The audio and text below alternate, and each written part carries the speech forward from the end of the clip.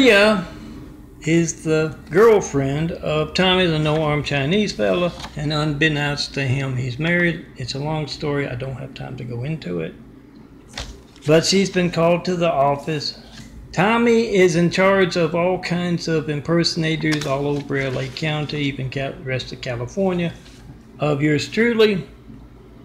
And very seriously, the hijacked lifelines part of uh, your hijack call to me. Make that video of your hijack call to me right now. Be the reporter. And Tommy's in charge of those, so he sees a lot of spin-offs of the Devil Laurie from well, Laurie and Brady Bond from Lake Charles, Louisiana, with her gay husband Samuel Lynn Bond.